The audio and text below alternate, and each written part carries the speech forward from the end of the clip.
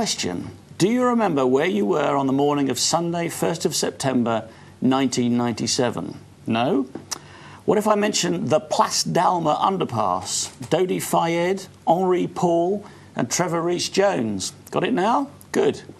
Well, in tonight's show, I'll be talking with a very special guest, an investigative journalist and co author of a controversial book on the death of Princess Diana on that summer night in Paris in 1997. It's called Princess Diana The Evidence. My guest is Jon King. What a show we've got tonight! Jon, welcome. Hi. I'm going to show the camera your book before we start. This is, this is um, Jon's book. If you can zoom in on that a bit. Look at that, and I'm not moving it around tonight. so, um, Jon, how on earth did you get involved in writing this book? Well, yeah, it's quite a story, really. Um, I mean, there are two. Uh, first of all, a bit about my background. I, I happened to grow up in Sandhurst on the Surrey Berkshire border, where the RMA, the Royal Military Academy, Mm-hmm. is where um, uh, Princes William and Harry recently trained. Uh, but all around there, I mean, Aldershot is just down the road. It's known as the home of the British Army. Um, and for about a 30, 40 mile radius all around that area, it's, it's pretty much all military uh, or um, top secret uh, research and development uh, facilities, etc., MOD compounds. And there's also um, uh, a kind of an unofficial private security firm that, that, that worked out of Sandhurst a, a, lot in the 70s and 80s, particularly as I was growing up there. And um, uh, the, these guys were, were, were basically hired by MI6 to go out to places like Angola, interestingly, and this is what it's leading to, really, where Diana's landmines campaign was focused. So just by coincidence, I just happened to know these guys, or I knew their families. So was a very small little village in those days. I either knew them or, or I knew their brothers or went to school with their brothers. And a lot of what they did, although you would think it was probably quite, you know, secret or top secret missions they were going on, you know, it was it was a, a small town mentality in Sandhurst, and a lot of things was, was spoken about. So. So, even though it was supposed to be secret what they were doing, they would talk to their friends, and presumably, if you were one of their friends, they would talk to you a little bit. Well, yeah, and when I got old enough to, you know, go, go to the pub and things, it, you'd be surprised the, the, the things that were spoken about quite openly, actually. So, anyway, the point being that I happen to know these guys. I happen to know a lot about through through knowing them what actually was going on in Angola and what was really going on behind the scenes there. Um, so I knew I knew all these these guys who were either former SAS guys or, or some other elite force, special special forces uh, personnel, or attached to uh, some or other security your intelligence unit and hired by MI6 to do these the British government's dirty work, basically. So that's one side. I just wanted to, to put that in perspective there. On the other side, at the time um, that Diana was killed, I mean, firstly, I mean, Diana at that time was really not on my radar. I, I, I was aware of her, obviously. Everybody how could was. you not but- be? Yes. Yeah, but I mean, not in the sense of, you know, I wasn't a Diana fan or anything of that nature. Um, but I was, um, at the time, I was an editor of uh, um, an X File kind of magazine in Britain, a high street magazine, was doing quite well at the time because the X Files itself was massive at that time back in the 90s. The whole UFO and cover up scenario was huge. It was a, a, a huge like, resurgence of interest in, in that whole area at that time. So um, I was editing a magazine at the time called UFO Reality, uh, but my main area of interest was the cover up side of things, and, and my regular contribution, well, I did a lot, but my regular contrib- contribution each, each issue was Jon King's X File document, which was basically investigating various areas of the alleged government cover up uh, on that side of things. And at that time as well, I know it sounds a bit odd now, but putting it back into context, at that time uh, in the 90s, there was a lot of interest in, in what was going on. For, you know, the various intelligence agencies were showing a fairly healthy interest in you know, the UFO phenomenon, even the crop circle phenomenon. You know, the, the Hmm. CIA and British intelligence were wondering, you know, is it aliens or is it the Russians that have got some new technology going on here or something, you know? Back to crop circles again. We had a Well- program on that very recently. but- Really? Okay. So anyway, coming to the point, uh, through that, uh, in those investigations as well, uh, I, I got to know a few people who claim to be vari- uh, working in various areas of the government, interested in various aspects of this whole phenomenon that seemed to be happening in those days. And to cut to the quick, uh, I was made aware of some information. I'm not saying exactly where this information came from right now, but it was, it was within this circle of people I've just uh, explained Yes. uh, of, of uh, a high level assassination uh, was in the air. You were No. told that there was going to be a very high level assassination. Yes, yeah, And this is before the death of Diana. before the death of Diana, How, yeah. how long before the death of Diana? About a week. and they said it was going to be, what, within a week or something like that? Shortly, yeah. No, no definite time span was put on it. There was no name given, obviously, but there was. You know, it's, I know it sounds whatever it sounds like, but just you know, I'm trying to put things in context of of knowing the people that I happen to know through growing up with them, or the things they were involved in. You know. Uh, it's all, it's all documented. They're named in the book. It's not something I'm making these people up. well, you, know, haven't and- said who, who told you that information, though, have you? no, the one, the one person that I say told me that particular piece of information is named Stealth in the book because that was his cover name. He was known as Stealth. I've written about him a lot in, the, in, in my other book as well, in Cosmic Top Secret, and in the magazine. He was a, a regular kind of, or became became quite a good source of information. Now, I've read this book, and actually, Yeah. it is a really good book. I mean, it's fascinating from start to finish. Um, and in it, you say that when he told you this, that he said to you that this death, this assassination, would be bigger than JFK. Yeah, that's right. Bigger than Kennedy. And there aren't many, are Quite- there? There aren't many that could potentially be bigger than JFK. In the No. event, I think probably it probably was, or as big as Yeah. JFK. Yeah, and in the cold light of day, it's easy, in, uh, and with hindsight, you know, you can look back and think, well, yeah, that was obvious then, wasn't it? But you know? didn't work it out, Didn't did- put did two you, two together.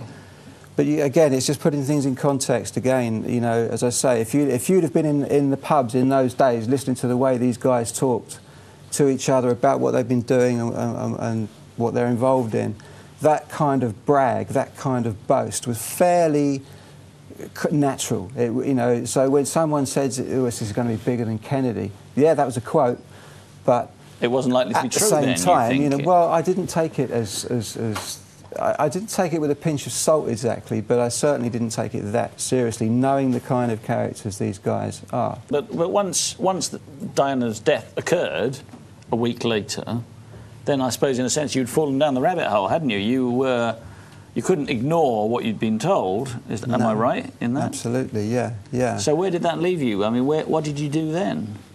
Well, uh, yeah. Well, for the first little while, it was it was a very tr- tricky time to, to, to be honest. You know, I mean, it was it was uh, the first the first thing I did uh, once once that I'd realised that this really could be what this guy had been talking about.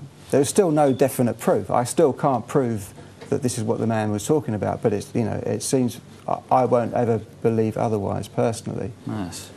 Um, so I started looking at it. I started asking a few questions and look. I mean, the whole world, well, it seemed at that time, was thinking, at the very least, there's something quite not right about this. You know, so many people thought that she died in extremely, you know, um, suspicious circumstances, should we say, at least. So there was a lot of a lot of information was, was coming at us through the media and, and various other you know channels on the internet, I suppose, or just beginning on the internet. So it was a question of just beginning to, to, to look at uh, what was happening and, and ask a few questions. I, I went to talk to a couple of people that I knew. Everything that I'd been told by Stealth was kind of reiterated and confirmed by the other people I was talking to. Um, and the more I looked into it, I, I was joined eventually by my associate editor at the time, John Beveridge, who helped me out with the investigation, He's your co-author on this book as well, he? researcher and co-author on Yeah. the book, yeah. who was a hardened skeptic to start with. Uh, you know, he really, really thought this, I was wasting my time. It was an accident. He wasn't aware of what uh, Stealth had told me before because I didn't tell anybody. Mm-hmm. So yeah, we, we just I started looking around. I started to ask some questions, and before long, it started to look to me very much, regardless of what I'd been told, that there were a lot of questions that needed some serious answers. You know, uh, surrounding Diana's death and the circumstances in which she died. And I just found myself being more and more drawn into it, and uh, I contacted also my agent at the time, my literary agent, just thinking that you know, I didn't know who else knew that I'd met this guy more than once, and I didn't know who else knew what he told me. I, I started to get, a, you know, I suppose, veering towards you know paranoia, paranoid about this because I didn't know who else knew that he to, that, that we'd met. I didn't know who else knew because of his claimed situation where he, you know, who he's working for. So I contacted my agent. Do you agent. know who he's working for? He said he was a CIA, CIA. Uh, asset. Yeah, Okay. yeah, former um, American Special Forces uh, vet, veteran, and, and, Okay. uh, and so that's what I did. I, I, I'm kind of reliving it now, and it's, it's, I was just can see that, confused and and concerned. uh, and so, within because it's what I do, I'm a writer. So I thought the only thing I can really do now is look to perhaps writing something about this, uh, and that very soon turned into, well, it has to be a book. I contacted my literary agent at the time, who was um, who was my former editor at Hodder and Stoughton, who, who did, did the other book. And we, we met up in London with, with John Beveridge as well, and uh, yeah, he thought it was a good idea. We should do that. We should get it out there because that might be a way of, you know, I don't know. It was just, it seemed the, the, the thing to do, the natural thing to do. And um, yeah, he, uh, well, he, he, he had publishing houses crawling over him for the story. Uh, we, we had meetings with the managing directors, not, not the commissioning editors, you know, of, of the various. uh, Jonathan Cape was involved, um, Simon and Schuster were gagging for it.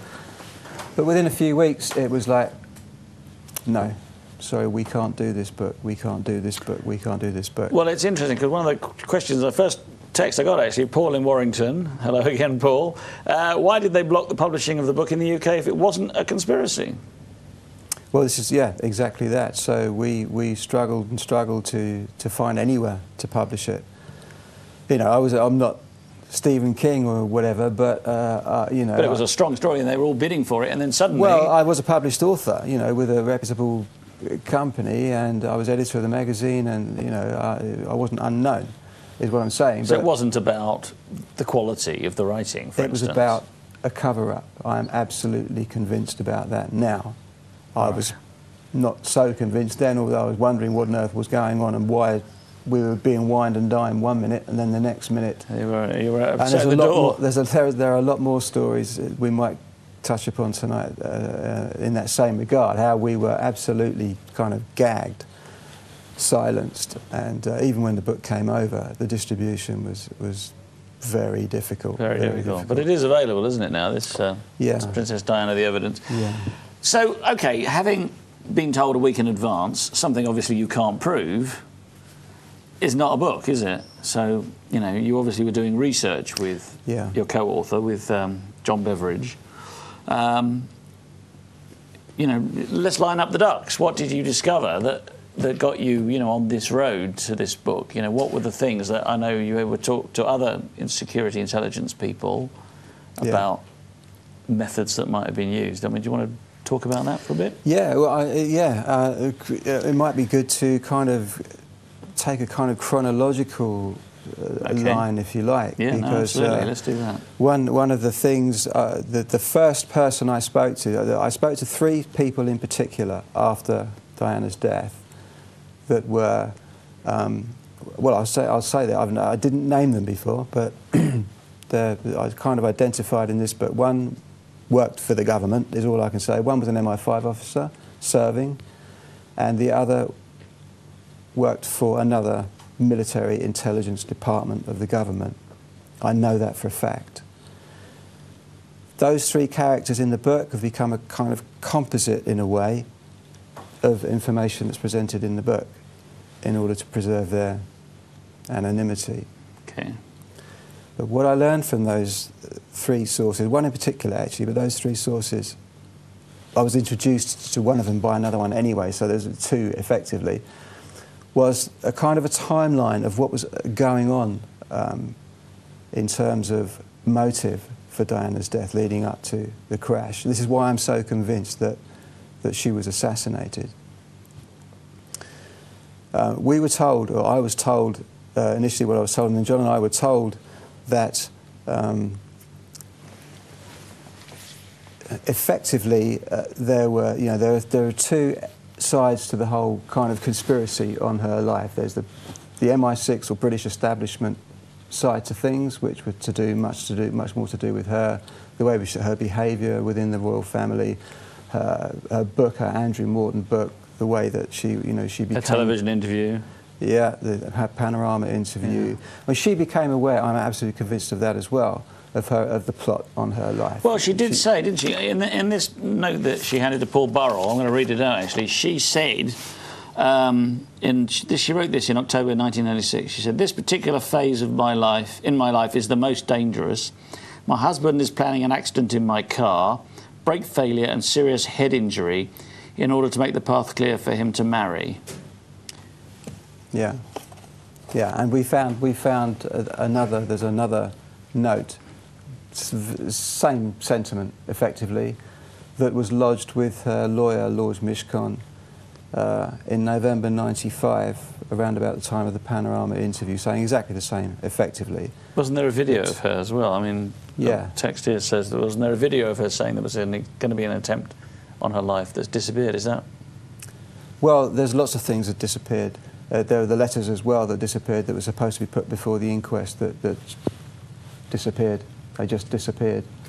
Uh, and they were, they were communications and correspondences between Prince Philip and, and Princess Diana and other, yeah, and other videotapes. There was a box, a, a specific chest that contained all this uh, stuff that mm. went missing, yeah. Yeah. So, um, but yeah, uh, the so around that time, there was definitely, as far as I'm concerned, anyway. I mean, we, we you can't prove these things, but we were certainly told that around 95. I've got to just say, yeah. if you can hear anything, there is actually a rather large helicopter right over the studio right now, making a lot of noise. Pure coincidence, I'm sure. okay, carry on, Jon. She did say she she might die in a helicopter accident as well.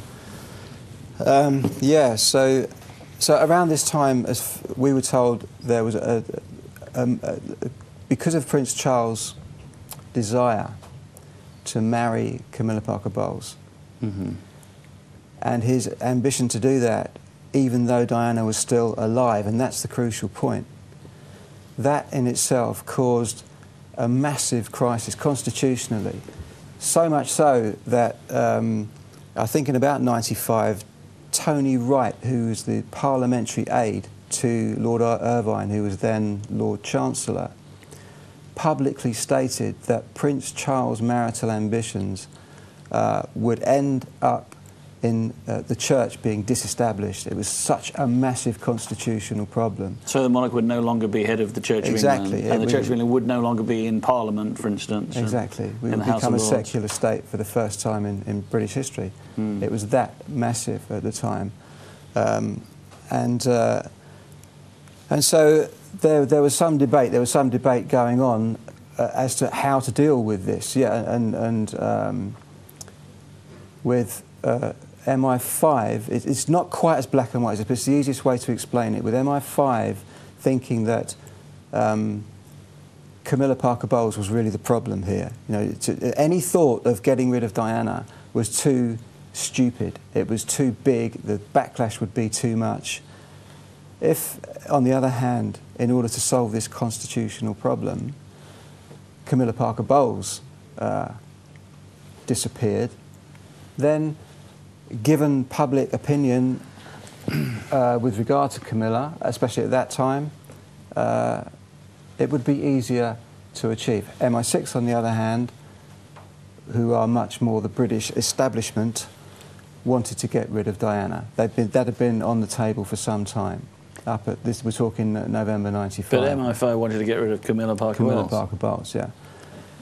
And she was involved, wasn't she, in a About mysterious road accident? Yeah, this is all forgotten, you see, about six weeks prior to Diana's death. And this is another point we must talk about as It well. is in the course, book. I'm not, the I don't know this myself. It is No, no, actually in the book. But the whole road traffic accident scenario is a known uh, assassination technique. The Boston Brakes. The Boston Brakes, Well, let's talk yeah. about that quickly, shall we? And then we Okay. go back to Camilla and Okay. Boston Brakes. Yeah, the Boston Brakes. I mean, Diana always said herself she believed that um, her bodyguard and former lover, Sergeant Barry Mannakee, who died in a road traffic accident in 1987, was killed by MI5. She stated that publicly. She stated that on video, and it went out on the ABC, uh, ABC News Network in, uh, in America. in America. Uh, and there are several other uh, instances of, of, of assassination by road traffic accident. The most famous, I suppose, apart from Diana, uh, must be uh, Sir Ranulph Fiennes. Now, Sir Ranulph Fiennes, everybody knows is the world famous explorer. Yes. He's a former SAS officer. He's actually a personal friend of Prince Charles. He's a, he's a cousin to the royal family.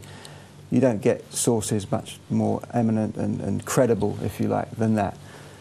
Sir Ranulph Fiennes described in detail what the Boston Brakes uh, assassination technique is, how it works, and effectively, it's and and he uh, uh, recounted one episode when uh, someone was assassinated in such a manner in England in 1986, a year before Barry Mannakee died in his road traffic accident.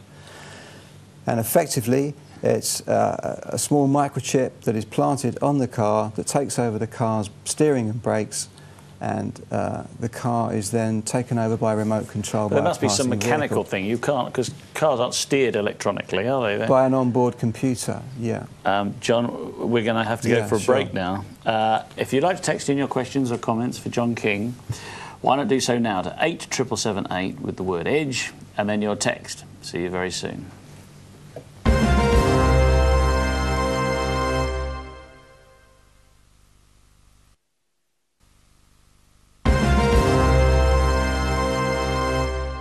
Welcome back to On the Edge with me, Theo Chalmers, and my special guest, Jon King. I apologise we're having a few problems with our graphics tonight, but hey, we are live, so that's just how it is. Jon, just before the break, we were talking about uh, the Boston Brakes, and I was saying to you that um, I don't understand how you could take over the steering of a car with the use of some electronic device because there's mechanical connection between the steering wheel and the wheels in most cars. Yeah, I mean, I'm no expert either on exactly how that works in terms of the actual mechanics of it, but I can only repeat what uh, Sir Fiennes uh, describes in his book, and that is that uh, the, the, the microchip transceiver takes over the EMS, the electronic management system of the car, and uh, it, it uh, is then taken over by remote control, and the car can be steered by remote control. I know it all sounds a bit James Bond, Theo, but you know we can send rockets to the moon and Mars and wherever else by remote control. We can fly spy drones by remote control. You know we can drive cars by remote control, and cars can be taken over, according to Sir Ranulph Fiennes, former SAS officer himself. And he, he, he cites an example of the Boston Brakes in action where uh, a, a Major Michael Marmon, a uh, an SAS officer at the time, was assassinated by the Boston Brakes method in a, in a, in a car crash. The reason I was told in, in, in following up investigations and asking questions about the Boston Brakes amongst some of the SAS and, and guys I was, I was talking about earlier um, is, uh, is it's used because it's deniable, simply because it's deniable. If you shoot someone, they've been assassinated. There's a hole in them, and it, it Exactly, has to be you know. explained. Yeah. yeah, pretty well anyway. But uh, you know, if someone dies in a car crash, people say, well, you know, it was a car crash. People have accidents, and, and so it, it's, it's very deniable, and it's, it's proved. Uh, uh, allegedly, anyway, it's, it's proved very successful for that reason. I've got Gerard in London is saying a drunk chauffeur in a powerful car seems more likely. Well, that's what you're supposed to think, isn't it? That's exactly what you're supposed to think. Is it impossible? It's not impossible, no. It's not impossible. But Henri Paul, all the evidence, when you look at the proper evidence, suggests that Henri Paul was not drunk. The, the, the, very, the blood sample on which that verdict was based was never DNA tested or identified. And it also had a ridiculously high level of carbon monoxide. Yeah, the file from which it was taken was labelled unknown male. It wasn't Henri Paul's file. And it, yes, it contained 20.7% carbon monoxide poisoning. Now, if you or I had 20% carbon monoxide running around our blood right now, We'd be unconscious. We, we, we, could certainly be unconscious, yeah. We, would certainly be extremely uncomfortable, especially if we had about one and a half or two bottles of wine inside us as well and prescription drugs. All of these. Uh, so it seems like it might have been the blood of somebody who'd committed suicide, put a hose well, through the window of their sense, car. doesn't it? It yeah, does that seem makes to be. absolute sense. Yeah. I know also there's a film of Henri Paul on the night in the Ritz Hotel right. doing his shoelace up, and he's doing his shoelace up standing up. He doesn't yeah. sit down. No, and he's talking, now, if you've had a drink, guests. I imagine it's actually quite hard to tie your shoelace up standing up, isn't yeah, it? he's acting perfectly normally, talking to guests quite comfortably, being congenial, walking around like a very sober person. He may have had a couple of drinks, but the evidence seems to suggest he did have a couple of Ricards at, at the uh, Ritz. Maybe he did. Even if he was blind drunk, it still doesn't prove it was a drink, a drink drive accident that killed Diana. But he wasn't blind drunk because there were two professionally trained VIP bodyguards with him. Both, you know, former, uh, well, Rees Jones particularly, a former crack elite forces guy, uh, and, and both of them testified that they were with him for two hours leading up to the drive from the Ritz to the Alma Tunnel, and they have stated categorically that he was not drunk, and they would not have let him drive the car had he been drunk. Um, no. And all, all the, the forensic evidence as well supports that claim. All right, let's let's look at uh, let's go back to Camilla Parker Bowles for a moment. Uh-huh. Assuming that MI5 wanted to kill her, yeah. would Charles have been involved in this, Prince Charles? Well, I don't. I, that, that is speculation that I, I, I really can't answer that. I mean, we all have our opinions, but I don't know. But what I do know is that Camilla Parker Bowles was involved in a near fatal accident about six or eight weeks prior to Diana's accident. And it was a very similar scenario. She was driving alone in her car and she suddenly, mysteriously lost control. This is exactly what happened to Henri Paul. This is exactly what Sir Ranulph Fiennes says happened in the scenario he uh, recounts. That also involved uh, a character named Sir Peter Horsley, who was a former equerry to the Queen, an air, an air marshal, very high ranking officer. Uh, he says as well that he was driving his car, and at the moment, the uh, uh, another car overtook him, and uh, uh, allegedly uh, took over the steering of his car. He'd completely lost control of his car. Now, these are statements coming from from the drivers of two people who have been involved in these scenarios and survived, but of course Paul didn't survive to tell us a tale, but we do know he lost control, and the, and the manner in which the car acted is precisely how the, the, the, the cars acted in the other scenarios as well. It didn't just crash into a pillar. It, it, once he lost control of his car, his brakes failed. He couldn't use his brakes. There were no skid marks or anything? There were no skid marks. There would have been, obviously, if if he'd have had brakes. His brakes failed and he swerved one way, then the other way, and then back again into the concrete pillar. And that is very specific. There's a very, very specific manoeuvre because that's exactly what happened to Sir Peter Horsley as well. And, uh, uh, and in the case of Camilla Parker Bowles. So, whatever we might think about the Camilla Parker Bowles scenario, MI5 being involved, I was told clearly and categorically that MI5 chose Camilla Parker Bowles as the one to get rid of, and that would solve the constitutional crisis. It would also frighten Diana to death and bring her back into line because, in their opinion, she was out of line. It would, you know, kind of create a scenario where she would be then forced to toe the line for, through her own sort of Didn't- uh, didn't fear for her own life. Didn't Charles have another standby um, female? Well, several probably, but uh, certainly, yes, certainly, we know about Tiggy Legge-Bourke, don't we? The, Yes. uh, the royal nanny, yeah, yeah, whom Diana thought he wanted to to marry at one point, yeah. Okay. And so, if that was the case, then who knows what was going on? So, with, all right, well, uh, let us assume for a moment, for the sake of this program, that MI5 originally wanted to kill Camilla Parker Bowles. They made an attempt on her life, and that failed. Hmm. Um, but you're saying that other dark forces, MI6, CIA, wanted to get rid of Diana at any cost. W- You know, what was the motive? Because uh, did they care about the royal family's predicament? Or was there more? or- Yes, or was MI6, of course. MI6 is is the royal intelligence agency, if you like. Yeah, they are. They yes, very much so. I mean, MI6. Prince Philip is very closely involved with MI6, not in operations uh, necessarily, but he's very uh, involved. His, his personal friend for years and years, the Bilderberg founder, Prince Bernhard of the Netherlands, is a known MI6 agent. There's very much in, involved. Whereas MI5 is more, you know, it is a more legitimate secret police agency, if you like. MI6 is. Well, it kills people much more nicely and politely. yes, that's right. does They're much more polite about it. Yeah, yeah.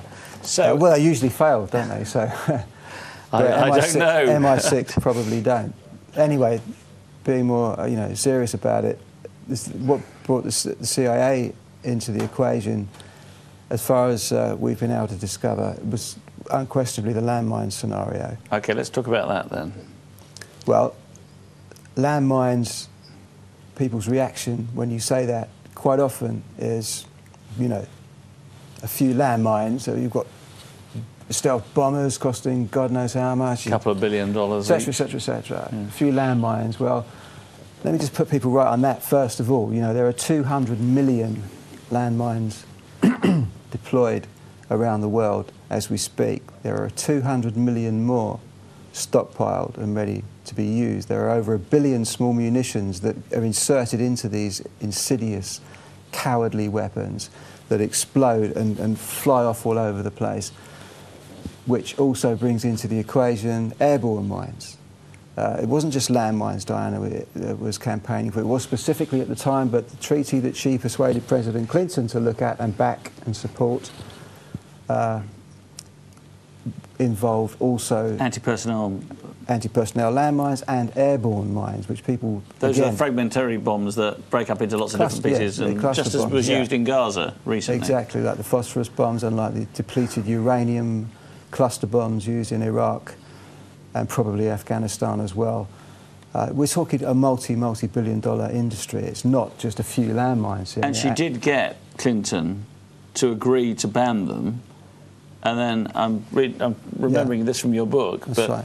he then, as soon as she had died, went back on his word. That's right, yeah. She single handedly persuaded President Clinton to effectively U turn on, on US defense policy, and he upset an awful lot of people, you know, in the military industrial complex in, in, in America and in the CIA, by taking a stand and agreeing to support publicly and, and officially uh, sign the treaty, which was then going to be the Oslo Treaty, which would have banned the manufacture, sale, and deployment of all mines worldwide. Yeah, three weeks after Diana died, Clinton gave a speech from the Oval Office saying he'd changed his mind.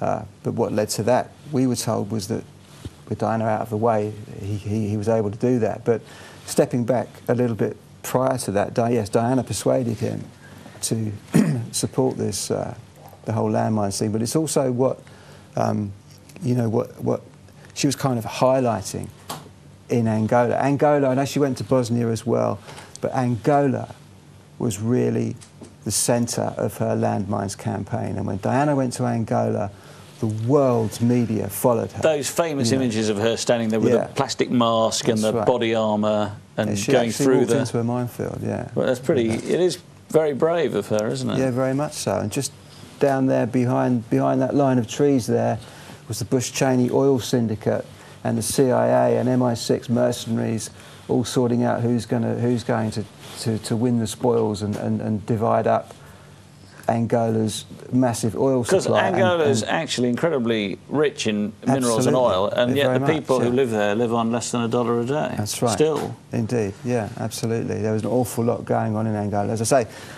when I, uh, that was the point of me kind of explaining a little bit at the beginning of the show about knowing the guys who was working out there as mercenaries, uh, fighting on one side while the British government was supporting the other side.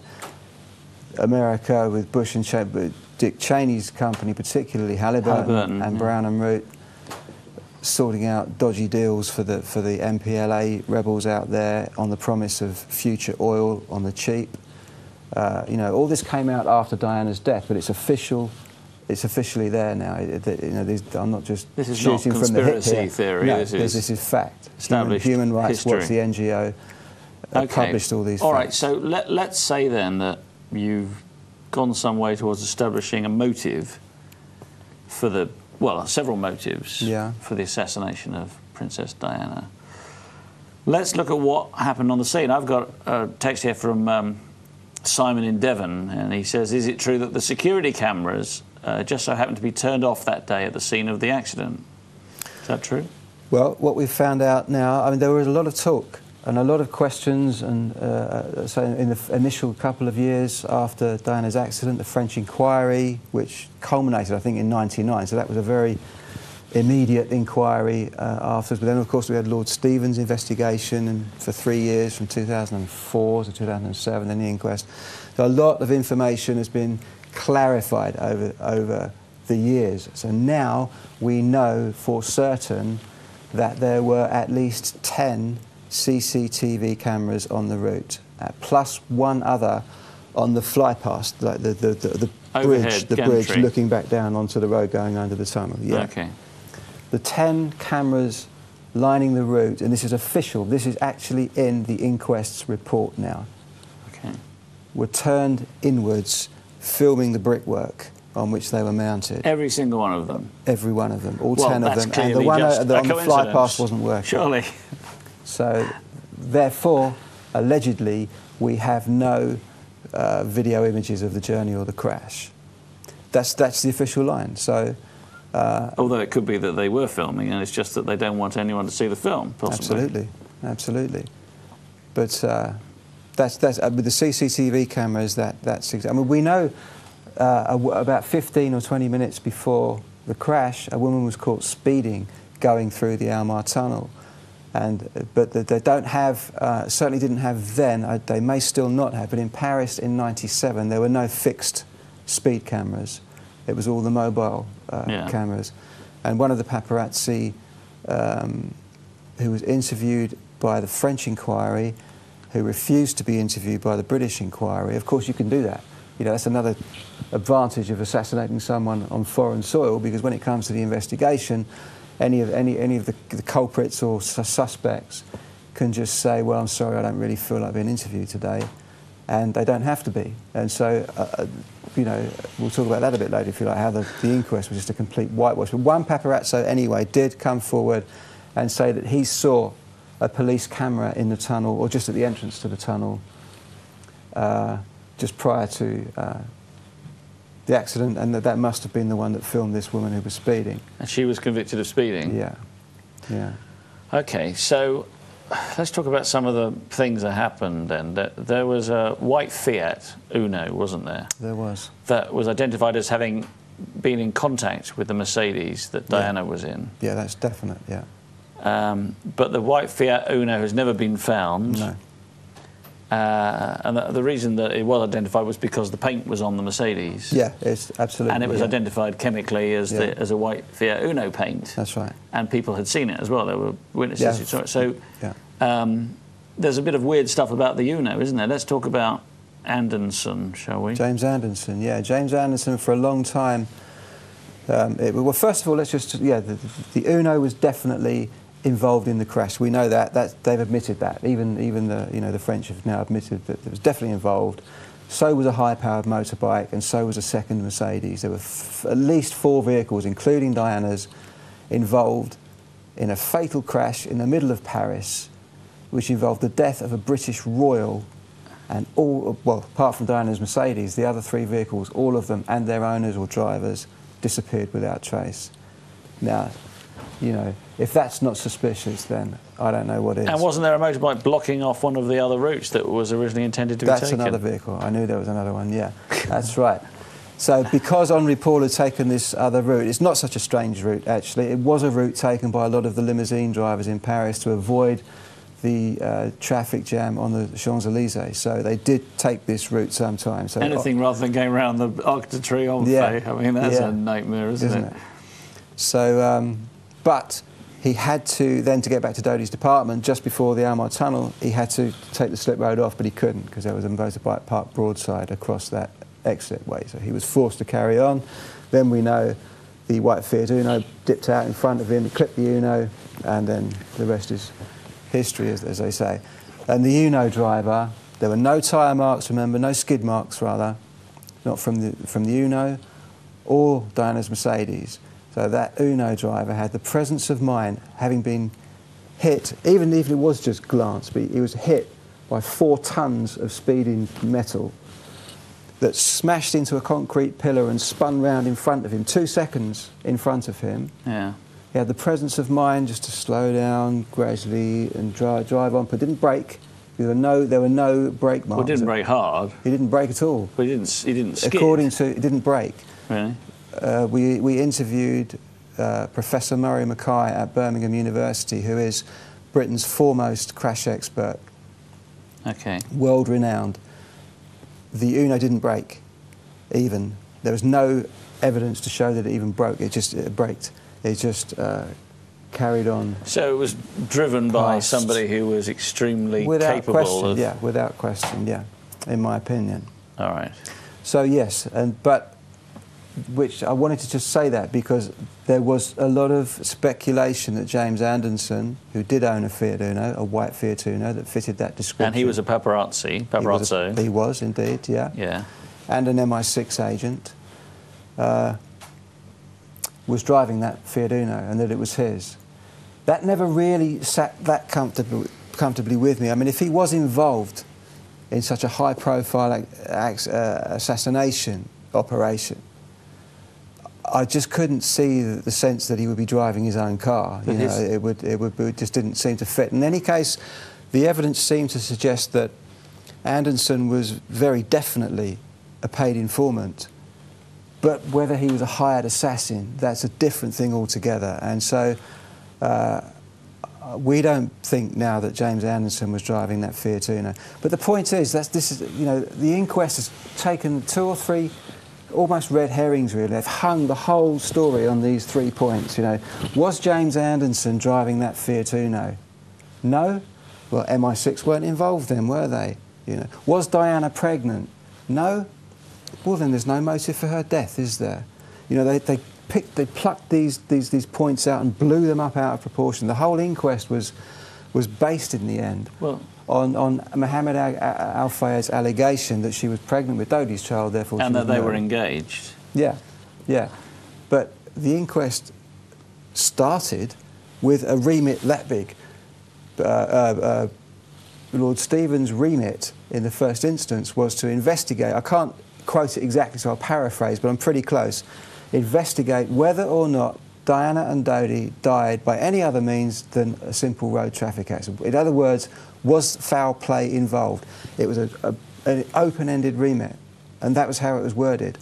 When we received the, um, when the uh, report was published three years later and £4 million worth of tax, British taxpayers' money later, suddenly the remit was that. The it was an investigation into Mohammed Al Fayed's claim. Allegation, I'm sorry, was the word. Uh, an allegation made by Mohammed Al Fayed of conspiracy to murder. That was it. That was the sole. That, that was what had happened. So anything outside of that, anything to do with landmines, for example, or anything that would have given the, them power to, to subpoena the, uh, the paparazzi or whoever they wanted and really question people and find things out was taken away completely. And now all the inquest had to do was prove that uh, Diana, uh, Mohammed Al Fayed's allegation Yeah. held no, no substance. And so I mean, it, that was what it was all hung on. I think it's worth making the point that Mohammed Al Fayed was clearly hugely distressed by the death of his son. Of course, of course. And, you know, our sympathy obviously goes out to him, but it's also possible to say that he might not have been the best person to try and stir the waters to get a decision because of some of the things he himself said, which kind of muddied the waters a bit, don't you think? Yeah, quite possibly. Yeah, it was a very difficult scenario for him. I, I, I, agree. I can't imagine what it would be like to lose a son in, in those well, in any circumstances. No. Uh, and yeah, I, I, don't really want to talk about Mohammed. I mean, we, we, we met John and I met him a couple of times, and we didn't have anything to do with him in terms of his investigation was his and ours was ours.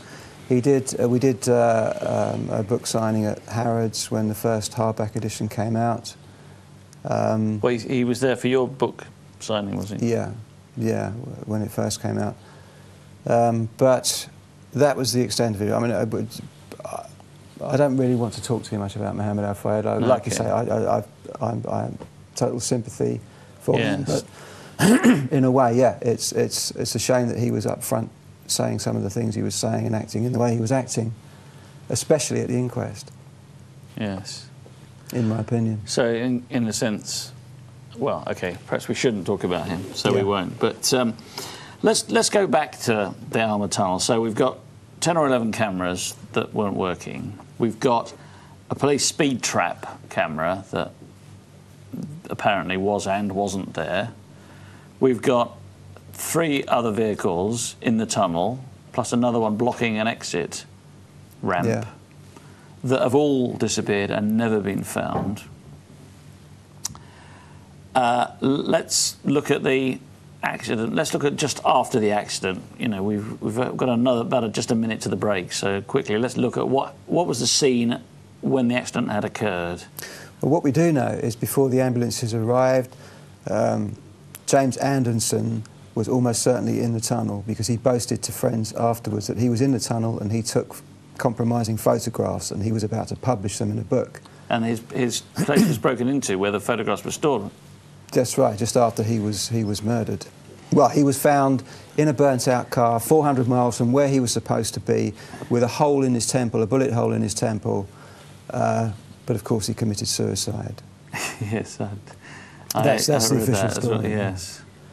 So, yeah, whatever went on in the tunnel there and then, James Anderson certainly knew because he, he photographed it. Jon, we're going to go for another break now. Once again, if you'd like to text in your questions or comments, why not do so now? See you very soon.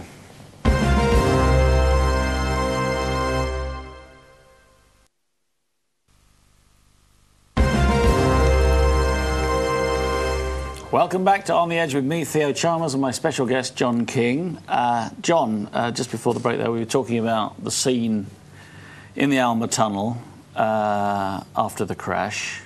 Um, do you want to carry on at that point? Well, yeah, we were talking about, uh, and James Anderson, uh, we now know, certainly, um, uh, that he was in the tunnel at that time, immediately after the crash, that he said that he witnessed the crash. He took photographs in the tunnel. Uh, as we were saying just before the break, uh, we now know that those photographs were, were stored at the SIPA uh, press agency, where, for whom he was working at the time in Paris. But that agency was broken into. His entire photographic archive was stolen, never to be seen again. And no one else's was, was it? Just his? Just his was targeted. And, uh, and yes, James Anderson himself was a very interesting character, actually if we had more time to talk about him, but certainly uh, he was found dead in his burnt out car. He'd set himself alight, allegedly, uh, when he'd set out to Paris, uh, towards Paris for a meeting. With, with his publisher? Yeah, that's yeah. right, indeed. Because he was planning to publish a book. We now know that, uh, the, the, the photographs he'd taken. He, was, he uh, ended up 400 miles the other way in the south of France uh, with a with a bullet hole in his head. But of course, the uh, and the, locked inside his own car. And no, the keys weren't in there. Keys weren't there. No. That's quite a trick, isn't it? It is. Yeah. Yeah. indeed. Yeah. So. Um, yeah, very suspicious circumstances surrounding James Anderson's death.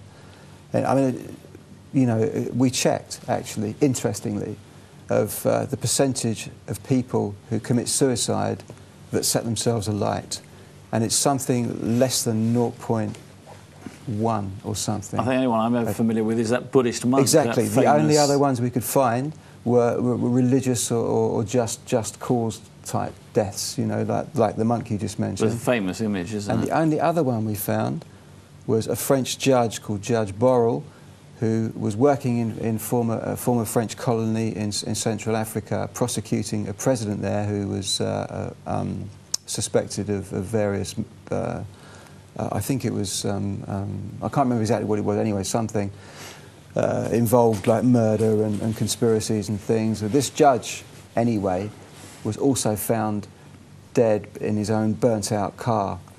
And the, the connection there is that the same pathologist who uh, pronounced that he had committed suicide was the same pathologist who uh, autopsied Henri Paul, uh, Professor Lecomte. Uh, that's just an interesting correlation there, really, because uh, if Professor Lecomte's record is anything to go by in, in Henri Paul's uh, autopsy, where she was completely incompetent, she didn't even know how many. uh, One minute she took five five files of blood, then it was uh, then it was three. These these these are recorded details, and this is this is someone who's, who's kind of carrying out a very high profile autopsy here. Uh, Henri Paul's measurements were all wrong. His number was switched with Dodi Fayed. They didn't know who was who. You know the story. I mean, Yes. then all this carbon monoxide was found in his blood.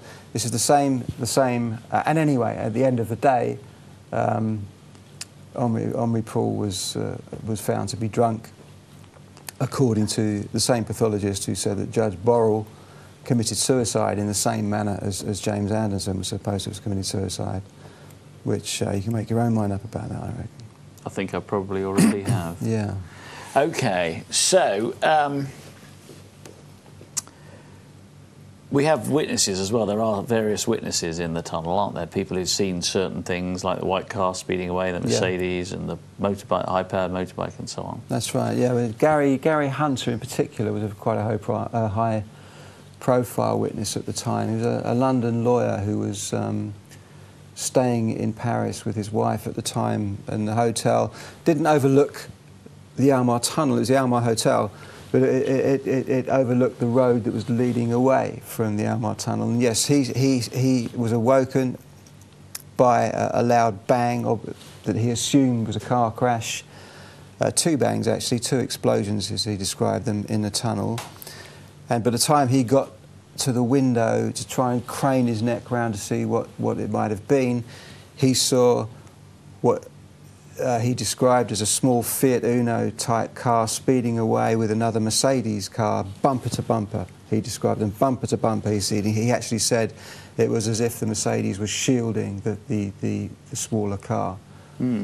Uh, so that was a, an interesting. But yeah, there were, quite, there, were, there were seven eyewitnesses in the tunnel who, who described the Fiat Uno and the, and the high-powered motorbike also involved in the crash. Okay, well, interestingly. and of course Diana was alive after the crash, wasn't she? Because she spoke to various people. she did. Yeah, And Rees Jones, of course, was alive and still is. yeah, Dodi Fayed was dead, on, Dead. dead at the scene, and Henri Paul was dead at the scene. instantly. Now, we're going to get to this subject. I've got texts about it. I've had loads of texts about it, so I'm going to read this one out. This is AJ in Cambridgeshire. What about the delays in getting Diana to hospital? Uh, comma, making sure she died at the scene. Well, I understand she didn't die at the scene, did she? So, Well, again, there were a lot of questions to begin with, and uh, we asked them all in our first book uh, uh, to do with the emergency operation. So many questions that, that, that remained unanswered. how, how, let's discuss how long did it take to get her to, what is it, Le Petit Salpêtrière Yes, Hospital? Salpêtrière. Uh, around two hours. I say I I haven't got the figures in front of me at the moment, but about two hours, just over two, about two hours six minutes. I This is like ludicrous, isn't It's it? three point two five miles away. Three point two five. So over two hours to get Yeah, uh, Princess yeah. uh, to a hospital, and it wasn't even the nearest hospital. They No. actually drove past another hospital with an accident room, They with did. a A and E They did. department. Yeah, they did. Indeed. So, So okay, the- yeah, yeah, the why did it take so long? What were they doing? Well, the, the official story now is that Diana, uh, they, the point we, we interviewed an interesting point. We inter- we interviewed a senior paramedic uh, in this country. we do have to take into. I, I, I must be careful because I, I do want to just say before I say anything else that the guys on the ground out there who came to the scene, they were in three ambulances, they were, they were paramedics, and I have every respect for paramedics. It's, it's a, an awesome job they do. Uh-huh. And they weren't secret agents dressed up as paramedics, they were paramedics. You know, the, the whole of Paris was there. The, the, who was in the tunnel the initial couple of minutes after the accident? That's another question. Well, but I- once the ambulances got there, they were paramedics and doctors on the scene. Let, So- let me read this text Yeah. out because this might be informative. Uh, this is from Marie in Blackburn. She says, Am I mistaken? I'm sure in the first reports of the accident, Diana walked into the ambulance, so I thought it wasn't too serious. Well, this is what I'm saying. That you know, when Did she walk into the Uh, well, after the initial, uh, you know, all, with in the melee that followed Diana's death, there were all kinds of reports, and and, and uh, some of it was true and some of it wasn't. And, and it seems now that no, she didn't walk into the ambulance. It Okay. seems that she had a heart attack through low blood pressure while she was still in the car, while they were trying to extricate her, which then um, caused the doctor to think, well. We better get her into the ambulance and do whatever you do Heart to massage someone. or something? Yeah, whatever. But all of this then, it took about 45, 46 minutes to get her from the car into the ambulance before the ambulance even moved. Now, when I interviewed uh, the, the paramedic officer who's quoted in the book, you know, he, he, he has total respect. France does have a different system. They have these SAMU ambulances, which are effectively operating theatres on wheels compared to ours. They don't necessarily rush their patients off to hospital. Um, but except in a high, a high impact uh, collision, you have to assume that the victim might be bleeding internally. That is the golden rule. You have to Well, even in France, it's the golden rule. yes, you have to assume. So does that mean the golden rule is also that you rush that person to hospital? If you think that they could be, ble- yes, bleeding internally. so yeah. why did it take them two hours to drive Well, three and a half exactly. miles? You tell me. They could, it took 46 minutes to get her into the ambulance, and then we now know that the doctor in charge instructed the, the ambulance driver, quote, drive slowly. And we know that the, the, the ambulance drove at about eight miles an hour from the tunnel to the hospital. Now he says But it's I'm because sorry, even at eight miles an hour, it's not going to take two hours, is it? no, it didn't because there was. Uh, it took them 15 minutes to get there. Then it took another X amount of time to get her out the car. uh, Further time to the actual journey from the tunnel to the hospital was something like 25, 26 minutes or something. But like didn't that. it stop en route for 15 Yes. minutes? Once it got there, it stopped practically outside the the uh, hospital doors uh, for another 10 minutes, and the doctor says that he thought that, that Diana may have been cardiac uh, arresting again, so but she wasn't. But he thought she may have been. So it took 10 minutes to. This is the official report. Again, you can you know. We can only make assumptions, really, can't we? I, I'm not going to sit here and say the paramedics murdered Diana because I don't think they did. I think the damage was done before the paramedics got there. Who may have been working in cahoots with who?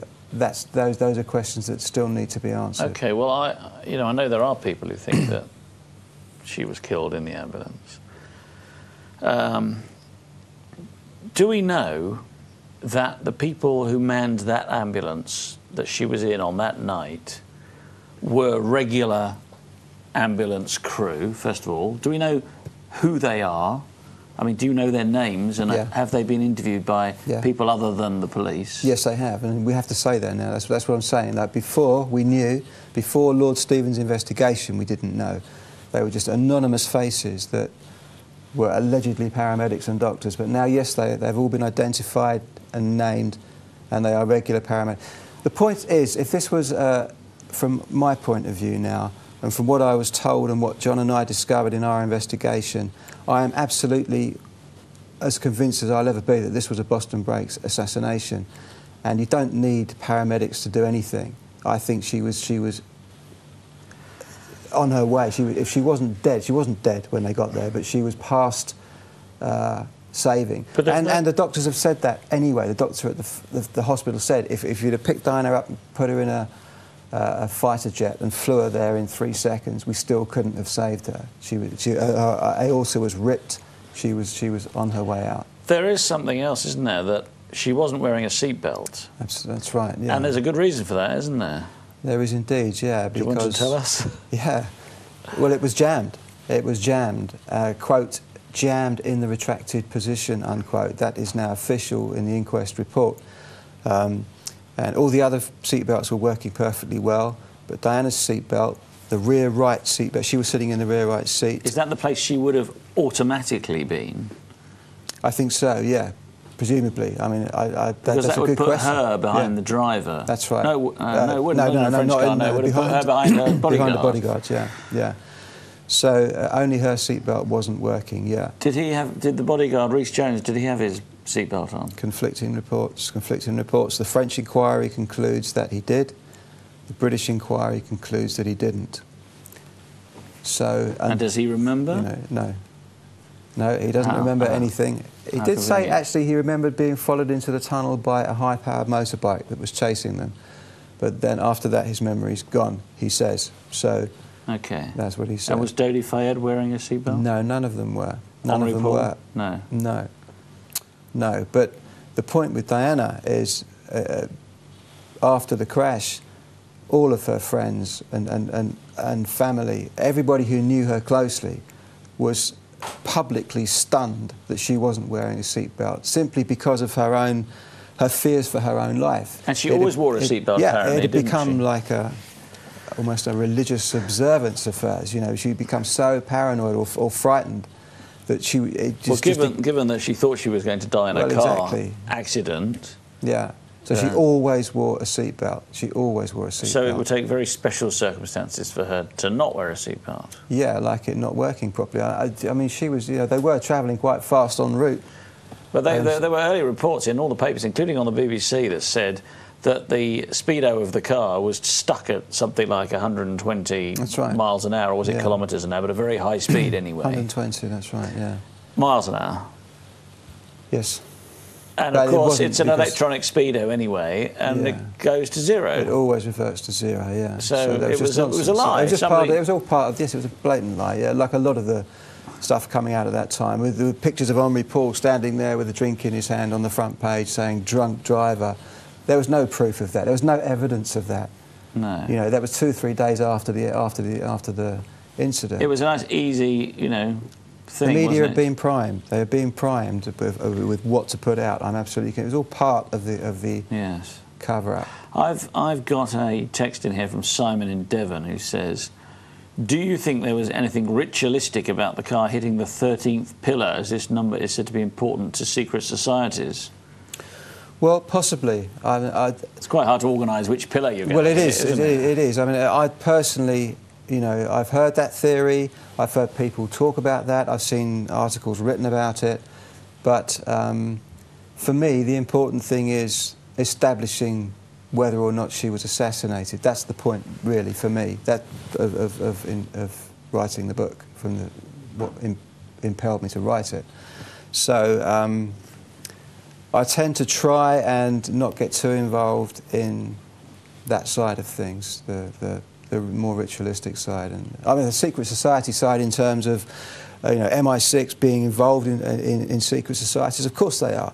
You know, there are secret society, Freemasonic lodges, uh, all over Europe, etc., where they can mingle and talk and plan operations quietly. Um, that happens, you know. But in terms of the more esoteric side of things, then maybe, maybe not. What do you think? I mean, do you think yourself that there was a Masonic connection? Masonic in terms of what? In terms of the people who might have had a motive or an opportunity or who were involved in some way? Well, there are various levels of Mas- you know, Masonic lodges and Masonic degrees, so certainly at the higher levels, possibly, yeah, possibly. I mean, I, I- there is a lot of very good evidence that high-ranking MI6 officers who are often stationed at, at consuls or embassies abroad also have their own stations and their own sort of substations within Masonic groups. Yeah, because they're very, they're, it, it's common sense when you think about it, because the Masonic groups are, are sworn to secrecy, you know, so the conversations that take place, uh, uh, in secret, which is what uh, MI6. They like that sort of thing. They Don't don't mind, yeah, keeping things uh, secret. Yeah, but no, seriously, I mean, yes, Masonic lodges are that without question used as uh, kind of, you know, but not not in terms of. Um, it wasn't the Freemasons behind it per se. You know, I know a lot of people who are just local kind of Freemasons who probably wouldn't have anything to do with this. Okay. So you're saying, and correct me if I'm wrong here, that you your belief is that it was a Boston Brakes deliberate assassination. Yeah. Uh, but that the ambulances and all that story about the delays and all that was just coincidental, if you like.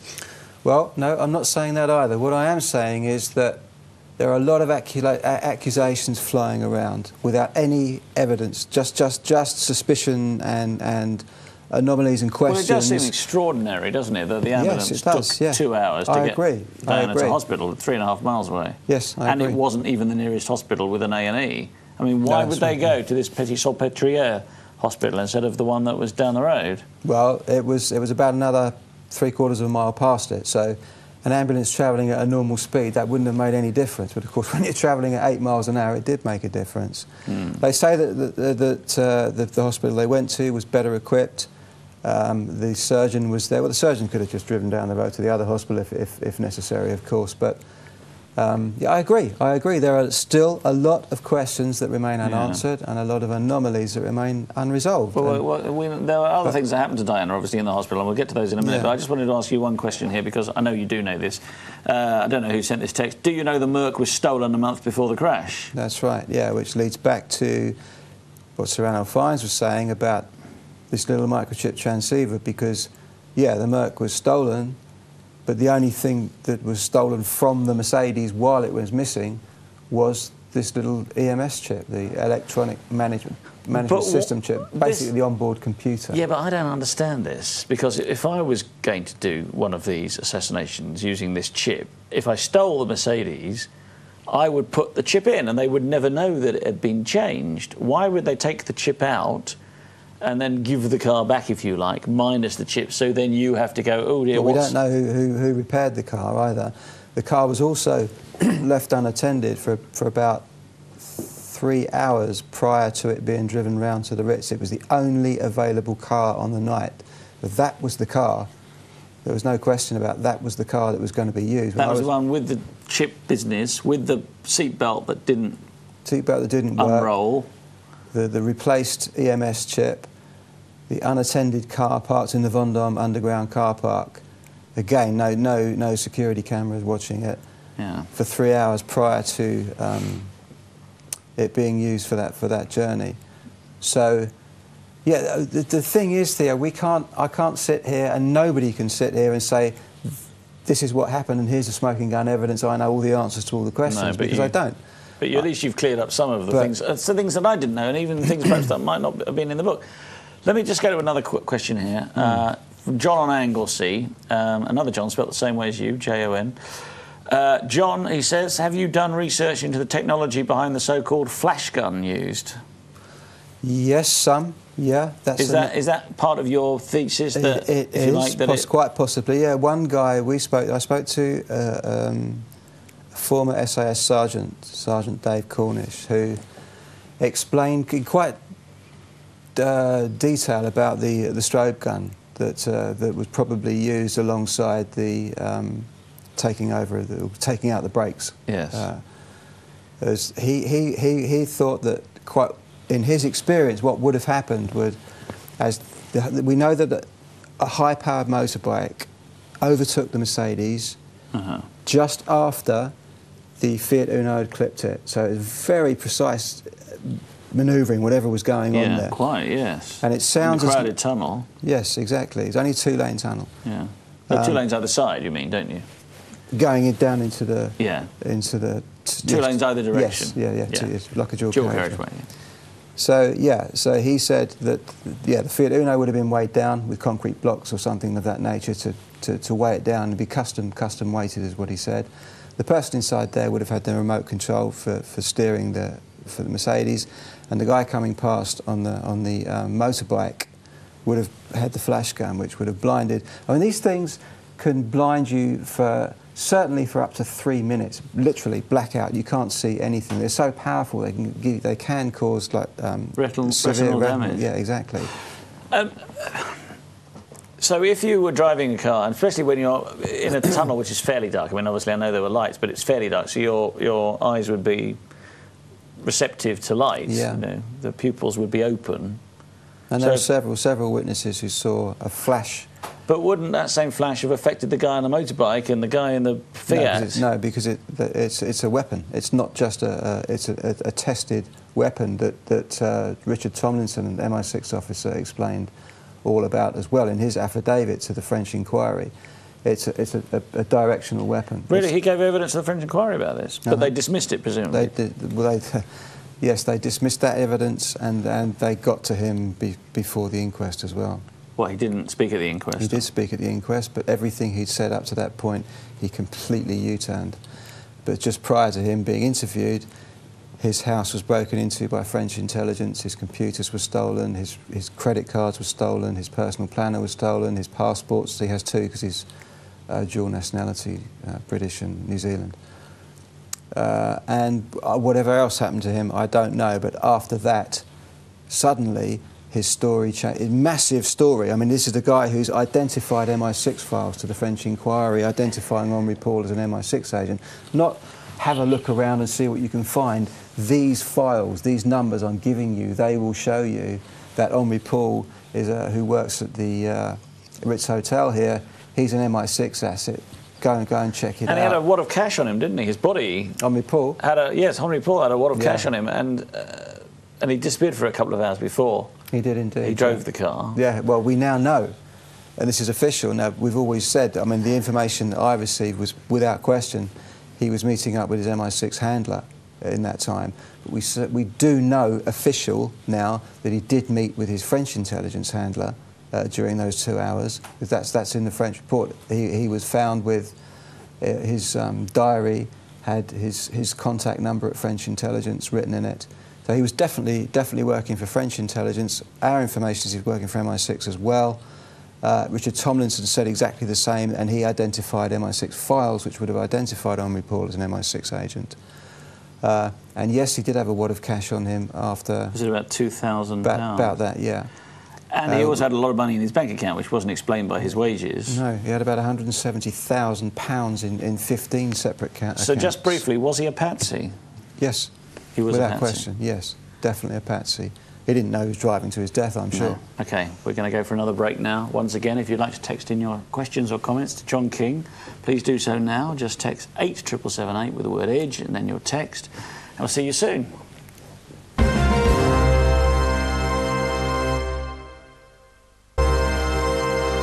Welcome back to On the Edge with me, Theo Chalmers, and my special guest, Jon King, author of Princess Diana The Evidence. And also, I'm going to tell you his website now before I forget, which is www.consciousape.com. Conscious Ape. Um, I'm going to read a few texts out quickly. Why blind the driver with a flash gun when there was a microchip, microchip driving the car? That's Greg in Bristol. Maybe they didn't. I'm just saying that, that, that those these are reports. There are, certainly witness reports of a, a blinding flash, and it, the, the, it was Richard Tomlinson who brought that up. The, the strobe gun is a known uh, special forces weapon to, to blind someone in, those kind of instances. So maybe they did, maybe they didn't. Okay. Do you think Henri Paul was subjected to mind control techniques so that he could be triggered into crashing the car? Simon in Devon. That's a good question. Isn't it? Who knows? Quite possibly, yeah, quite possibly. Okay, this is a guy, Mad Max in Derby. Apparently, one French witness saw the bike and flash, and one guy got off the bike and made cutthroat gesture with his finger to show she was dead. Uh, is this, and then he's cut off, so I don't know. That's right. Yeah, that was. Uh, I think that was Francois Levistre who saw that. Uh, he, he saw the flash in his wing mirror, uh, in his rearview mirror. Got out the car, looked back, and the guy on the motorbike who had driven past uh, and and probably responsible for the for the flash, if there was one, yeah, did make a gesture, according to Francois Levistre. Okay. Uh, if Jon's theory on the Boston brakes is correct, was the chip ever found in the crashed car? That's John. Well, we don't know because the crashed car was not uh, investigated by anyone it should have been investigated by. Uh, The, the, the experts who um, were appointed to look at the, the, the, wreckage were, you know, French secret poli- uh, uh, secret agents and and whoever they're, they're working for, you know, specialised teams. The, the, Mercedes engineers weren't allowed to look at the car. They weren't allowed to go anywhere near the car. Right. Okay. This is a really good text here. The strobe weapon is known as a sun blaster, used against vehicles and aircraft. As about the explosive half cap, as about, I don't quite understand that. Also used to disable moving vehicles. Cheers, ex Special Forces. There we are. There you are. So a few people, God, they're coming in thick and fast now. Um, Chrissy in Ashford, I've always known she was disposed of because she was treading on the toes of the establishment. Thank you for your work. Yeah, That's obviously you. for you, uh, Chrissy, from Chrissy in Ashford. Okay, um, a chap called Tino. It's scrolled off the screen now. Oh no, do you believe Diana was pregnant? Thanks, Tino. We are going to get to that question. So, was she pregnant? Well, we'll never know. But I just before we go into that, I just want to say I, I, I was talking a bit earlier about these nuggets of things that they that they hung the, the inquest on. Was she pregnant? The inquest effectively proved officially that she wasn't. Therefore, there was no motive for her death. But the point is, it doesn't matter whether she was pregnant. She was very definitely in what appeared to be a long the beginning of a long-term relationship with Dodi Fayed. And it was, was very the near the start of the relationship, and she hadn't really got over that Hasnat Khan guy, had she? The, no, the but surgeon. even so, even so, Apparently. the fear wasn't was she pregnant. It was, my God, she could get pregnant at any moment. She could get pregnant at any time. If she was with Dodi Fayed for any period of time, she could have got pregnant at any time. So the fear is not, you know, the motive isn't was Diana pregnant, but the motive is there, very loud and clear she could have become pregnant at any time if she wasn't pregnant already. Yes. So, well, that's true. Th- that's course, really the point. She... But going back to the pregnancy, we did, uh, you know, we, we didn't really look into it too too much in our first book, but we, we came, we, we, we, we received some information from someone who wanted to remain anonymous. It's not another, you know, one of those. I have got a name for you in a moment, but the initial information that pushed us towards this was wanted to remain anonymous. They said that he was a medical student, and his tutor, Dr. Somebody or other, told him that his friend, uh, who turned out to be, we discovered, uh, Roderick Lane, a naturopath and Harley Street specialist, turned out it, it was Diana. She was he was Diana's um, well known, in fact, for becoming Diana's nutritional guru. Diana visited Roderick Lane just prior to her final holiday with Dodi Fayed because she feared she might be or she might become pregnant and she wanted nutritional advice from Roderick Lane. She didn't want birth control. No, no, no, no. He was a naturopath and he was, he was okay. a nutritional guru. So, but she wanted advice that if she was if she was pregnant, um, she feared she, she she might be pregnant. I don't know what was going on, or you know, in terms of her periods or whatever. But she feared she was she was um, pregnant. So she went. This is what the information we received. So she went to see uh, this, this character we'd never heard of. We did, in fact, in the end, track him down. And, um, and we phoned him up and interviewed him. And he was very cagey, uh, naturally, I suppose, uh, because we also discovered that after Diana's visit, his office in Harley Street was broken into and his computer equipment was stolen, never to be seen again. It's incredible how many break-ins there are, isn't there, isn't around it? this? Yeah, isn't it? Now, he denied that. So we followed up, I followed up by contacting someone I knew uh, who is a, quite a well-known investigative journalist in this, in this country, who's a, friend of Roderick Lane's. Uh, and he let it slip because I said to him, well, you know, this business about the computer then being stolen. You know, his office was broken into, we know his computer was stolen. And the reply was, well, yes, but we don't think that was anything to do with Diana because we don't think she was killed anyway. So so he the, corroborated yes, he corroborated the story, the yeah. And it's all computer. in the book there. As I said, we didn't really have the, resources to follow this up because the doctor we needed to talk to had, had moved somewhere in, across Europe and etc. etc. So we put it in there. If Lord Stevens or Mohammed Al Fayed or anyone else who's got the resources to do it wants to follow this story up, there it is because you know it's not evidence, it's not smoking gun, but it's certainly information that needs looking at. It's leaning towards that direction that she was pregnant. But as Yeah. you say, it wouldn't have mattered whether she was pregnant or not. If they wanted to kill her because of landmines and because she was messing up the royal family Yeah. for two reasons. Uh, I've got a question here. Dave in Bradford Was Diana pregnant with the child of Dodi or the Pakistani heart surgeon? Well, yeah, that's a good question. Either way, it would it would appear to have been Dodi's, or the fear the fear was that it would have been Dodi's, regardless of whose it was. Yeah, there's been another question or two about that with her, hasn't there? Mm-hmm. but we won't go there. Um, so, she was embalmed. She was illegally. Let's talk about that. Yeah, she was embalmed illegally. You're not allowed to embalm anyone in France without express permission of, of either the mayor of the city, the town, whatever. What's it got to do with the mayor? Well, you have to get their Okay. approval, or the chief of police, or an immediate subordinate if the chief of police isn't available. None of those people gave, gave permission for Diana to be embalmed. In conjunction with that, you also have to have permission from someone who is authorised in terms of funerary uh, uh, arrangements, i.e., a close member of uh, Prince Charles, for example. but he was no longer a member of her family, was he, Prince Charles? He was still. He was still. Um, he was the father of her children. he was still apparently on the list of people that could have given authority to but why? I don't know. Because she was divorced, therefore she was a free agent and no longer a member of his family. Right, she was still the mother of his, his, his sons. Well, that's true. So, um, anyway, the point being that n- none of Diana's family, nor close relatives, nor close friends, nor anything to do with Diana, gave permission for her to be embalmed. We discovered, we found out. And the, neither the mayor, nor the chief of police, nor any subordinate in the French judiciary or legislative uh, system gave permission either. The order for Diana to be embalmed came expressly and specifically from a man called Keith Moss, who was the consul general at the British Embassy at the time of Diana's death. In other words, you know, he was it. He was a diplomat. Yeah, the rumour was that it was actually Sir Michael Jay who was actually the ambassador, who was like one above Keith Moss. So whether it actually came from him originally, we don't know. But what we do know is Keith Moss, specifically in the room, gave the order to the French uh, embalmer to embalm Diana. And he afterwards claimed that he'd made a mistake in translation. His French wasn't so good because. Uh, well, the Moss said this. Yes, this is the this is the consul general in France representing the British government in France. Who couldn't speak French. couldn't speak French, yeah. Or, well, they, Well enough to explain. Don't embalm her, just clean her up for people coming to uh, see her. So but that- she was embalmed. She was fully. Yes, she was embalmed completely. And now, in order to embalm someone, you have to remove all their blood, don't you? she, so well, where, whatever you do, she was where embalmed. did that go?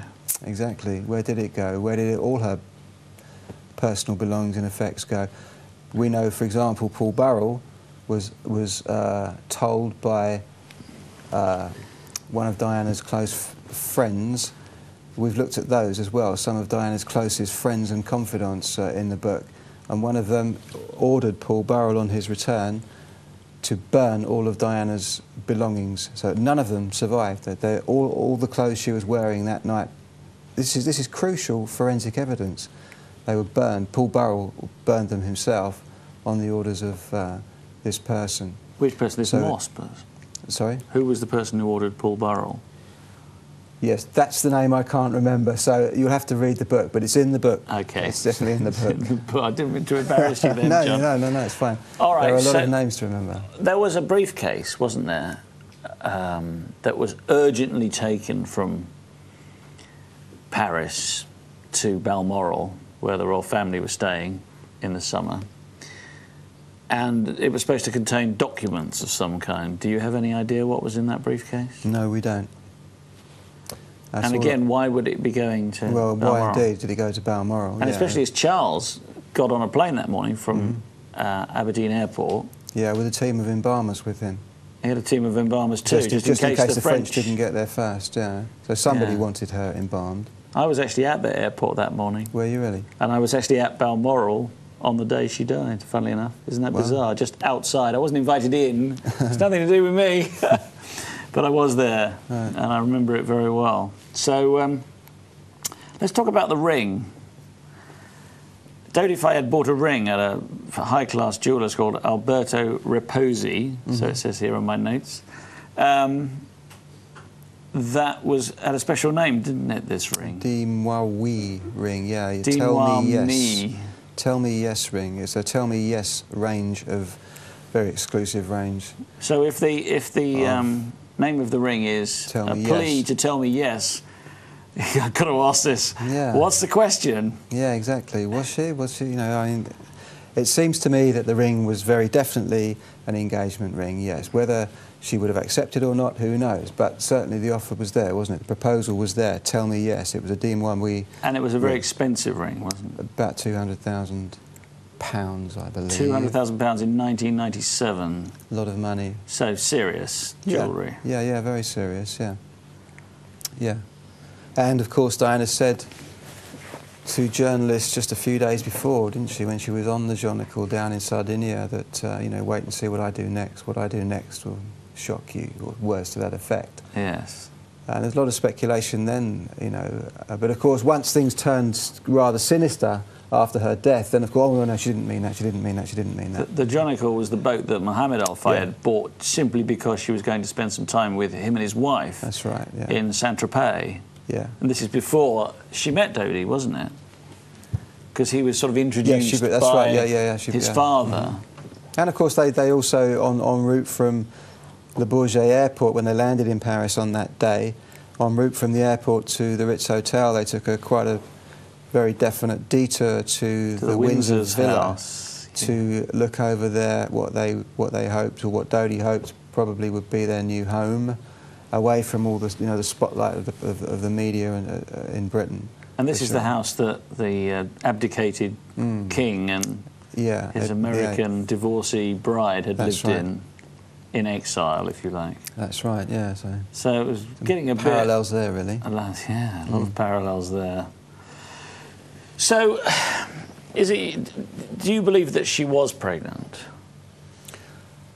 What I believe, Theo, is, is kind, I, I try and see it as kind of irrelevant because when I get into this mode, what I'm trying to do is establish that she was assassinated. Now, I don't think her being pregnant or not is, is necessarily a motive. I think the motive there is the fear that she could have been pregnant at any time.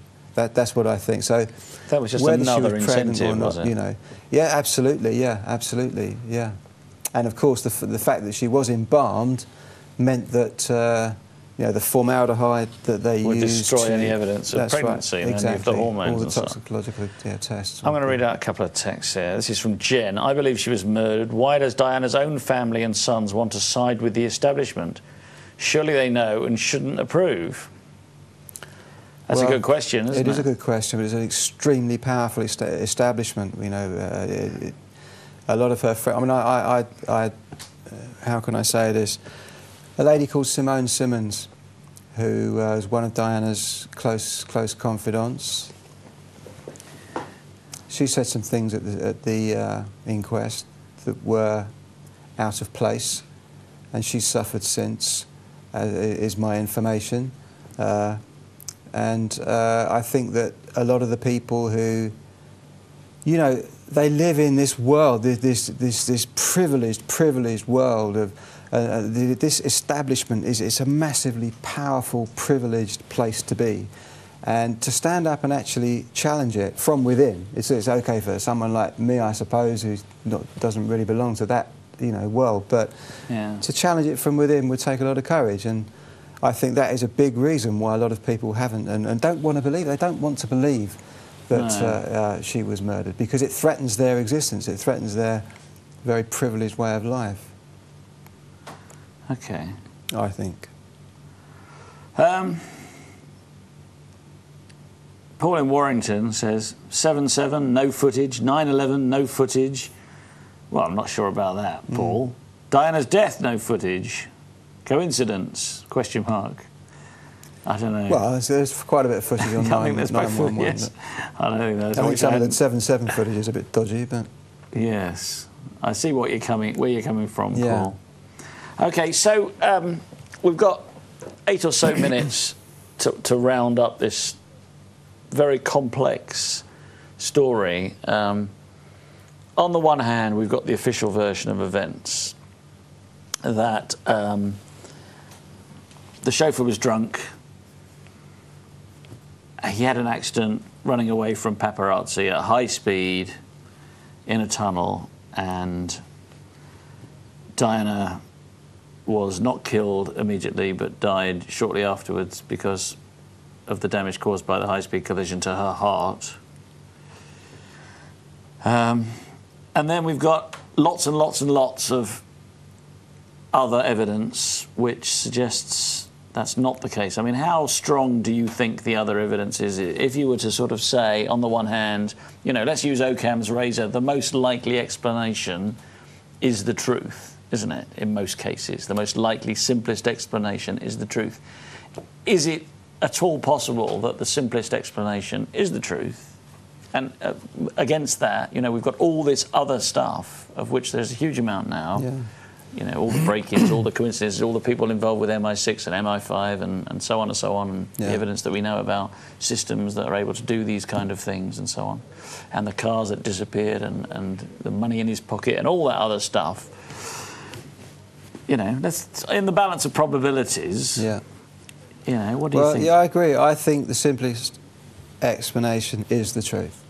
But I think the truth is she was assassinated. I don't think the truth is that it was an accident. I think the truth is she was assassinated. The reason there are so many different kind of ideas around it all still is because the truth has been whitewashed over and it's been replaced deliberately, in my opinion, by a whole lot of crazy stuff mixed in with some more credible stuff, mixed in with some very credible stuff. And it's all kind of been put out there and branded conspiracy theory, a little bit wacko, isn't it? Don't, take it too seriously, you know, especially if you want to, you know, remain a, an upstanding citizen in the community, etc., uh, etc. Et that's, that's the subliminal message going out all the time. If you really think Diana was murdered or, or whatever other conspiracy theory you might subscribe to, then you know there's something wrong with you, isn't there? And that is a very, very definite subliminal going out through the corporately controlled media that we have in this country for the most part. The except, establishment, except here on except controversial media, TV. Yeah. Yeah. Uh, and the, the establishment controlled media, you know. It very much is. It's, it's, it's very much uh, put, put that message out. And it's very difficult for, for some people to, to challenge that. But I think without complicating matters too much, if when you really, really, you know, I went through that uh, for my sins I went through Lord Stevens' report, uh, Operation Paget report, which effectively became the coroner's report, with a tooth comb more than once. And if people could be bothered to do that, I don't expect them to. I mean, it's a boring, laborious task in lots of ways, but you, you really do get to see just how that man presented the evidence and weighted it in favour of the accident theory because the accident theory is all it is. It's, it's only a theory. It's just as unproved as. It absolutely is. Yeah. So you're I mean, saying don't the forget other... the inquest. The inquest did find that Diana died uh, unlawful killing, but of course it wasn't like uh, it was. It was the. Could have been a drunk driver. It could have been. Yeah, and okay. the pa- or the paparazzi. Yeah. Let's let's get on to some other final subject here. This is a, a text from Carl from Reading. Has Jon received any threats or been warned off? Good luck, Carl from Reading. I can't say I've received any specific um, uh, physical threats, and I don't really want to get too paranoid about one or two things that happened that possibly, but certainly. Like that helicopter. Really. Like that helicopter, yeah. certainly about getting the book published, that was very strange. We've been gagged, is what's happened, Theo. We've been gagged. We've been silenced, and, and, uh, and uh, you know, we had. Oh, there's so many stories to tell, but yes, the, the publication of the book was a problem getting the book uh, publicised when it came out. We had the Sunday Mirror chase John and I for months for our story. Mm. Months. They courted us, blah, blah, blah. Long story short, and eventually when the book came over, we said, OK, yes, it's going to be front page news. The story was going to shock the world. The Saturday night before it went out, it was pulled. And we got, we, we, we got a phone call saying, sorry guys, we, there was a DA notice. Uh, this is the Ministry of Defence. Yes, that's right. Ministry of Defence. Yeah, saying that our book couldn't be couldn't be published. We did. I did an interview with James Whale on so, his radio on, show. Let me just let me just backtrack you a bit here. Why would the Ministry of Defence say your book could not be serialised? Because it compromised some. Uh, he, they said because it compromised the identity of some MI6 and MI5 agents and MI6 and MI5 operations That's what they said. And the same thing happened on the James Whale's show, which I was just about to say. We were interviewed Yeah. live on James Whale's.